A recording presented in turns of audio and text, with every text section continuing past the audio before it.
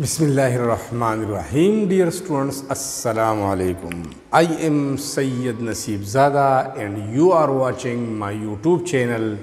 نصیب زاده ټریپل ایس ډیر سټوډنټس ټوډے آی هیو ا نیو ټاپک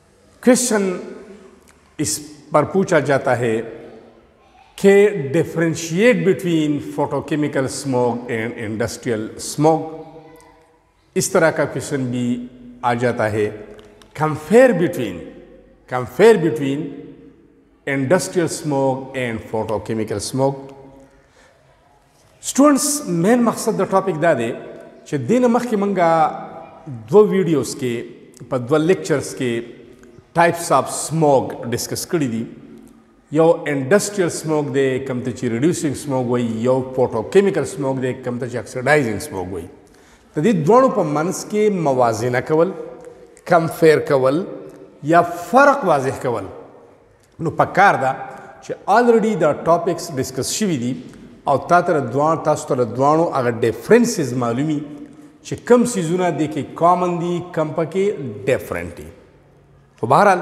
چونکې کوېسچن دې باندې راځي نو نن هغه ټاپک طرف ته ځو او د نیم اف د ټاپک از ډیفرنسز بټوین انډسټریل اینډ فوټو کیمیکل سموګ سو ډیفرنسز دي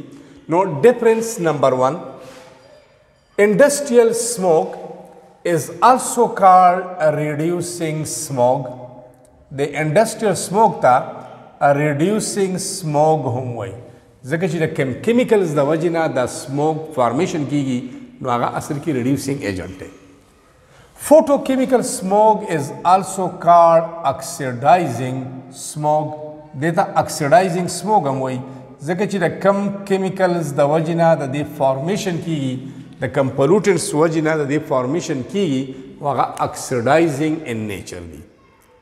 نو یو سایت ته ما لیکلي دي انډسټریل یا ریډیوسینګ سموګ او بل سایت ته دي پوټوکیمیکل یا اکسیډایزینګ سموګ کلیر ده ډیفرنس نمبر 1 انډسټریل سموګ اټ از ریډیوسینګ ان نیچر دا د نیچر چې هغه ریډیوسینګ دی او چونکی مینلی دا د سلفر ډای اکساید د وجې نه جوړیږي او سلفر ډای اکساید از ریډیوسینګ ان نیچر on the other hand photochemical smog it is oxidizing in nature the oxidizing in nature because it is formed during this smoke formation hydrogen peroxide HNO3 and ozone formation takes place and all these are oxidizing in nature. زوت سیکنډ ډیپریس طرف ته اټ از فارم مطلب انډسټریل سموګ از فارم ډیو ټو ا های کنسنټریشن اف اس او 2 کوم ځای کې چې د سلفر ډای اکساید کنسنټریشن های ایم هایدروکاربنز او کوم ځای کې چې د هایدروکاربنز کنسنټریشن های اوس به دا SO2 او هایدروکاربنز پروډیوس کیږي کوم ځای کې پروډیوس فرام کمبشن اف فیول مینلی کول کوم ځای کې چې کول کمبشن کیږي نو په کول کې د 1 والا 7% پورې سلفر کنټینټي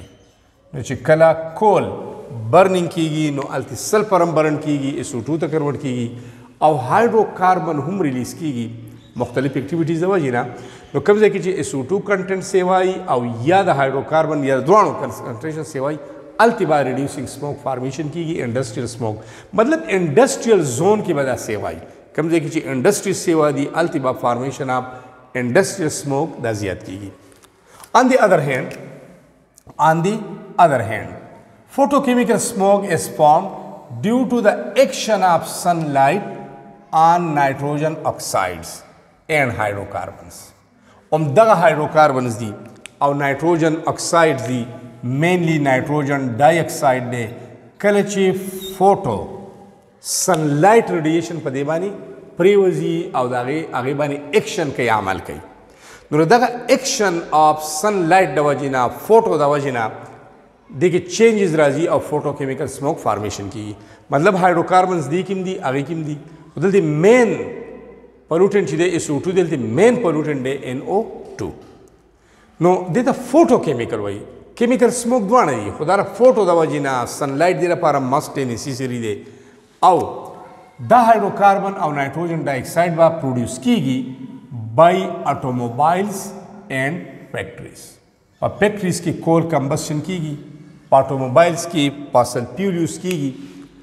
د هغې کمبسشن د وجې نه دا نایټروجن هم کول چونکې یو کمپلیکس میټیریل دی نو په کول کې کاربن خو مین دی کاربن پکې دی دا یو دین علاوه سلفر کنټینټ هم شته او نایټروجن هم شته نو چې کله کول کمبسشن کیږي کول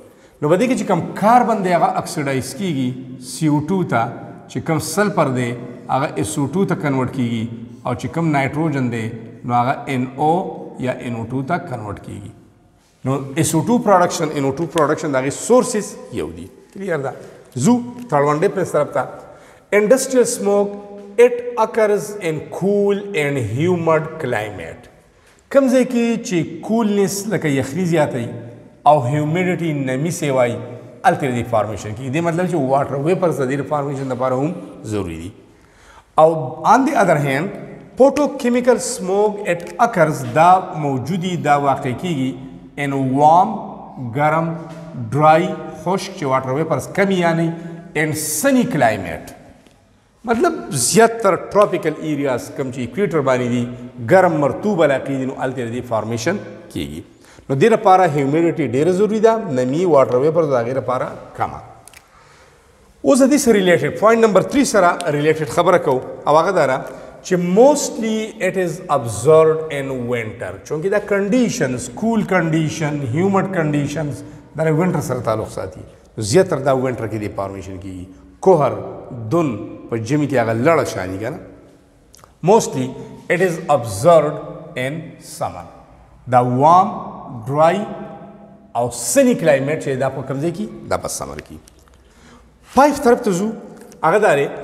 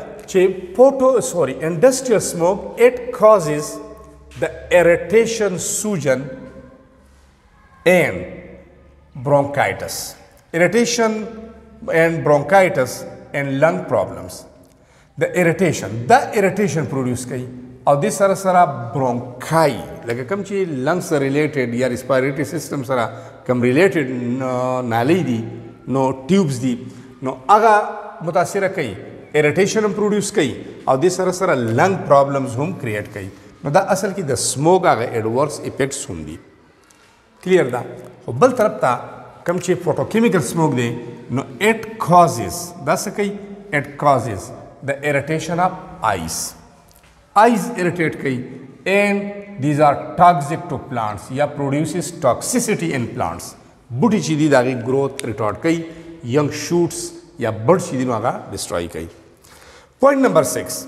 It was first of all observed in London in 1952. For the first time په 1952 کې دا په لندن کې ابزرو شوی په جمی کې کلیئر دا کنډیشنز دي نو په دې بنیاد باندې اټ از آلسو کارډ لندن سموک د لندن سموک هم وایي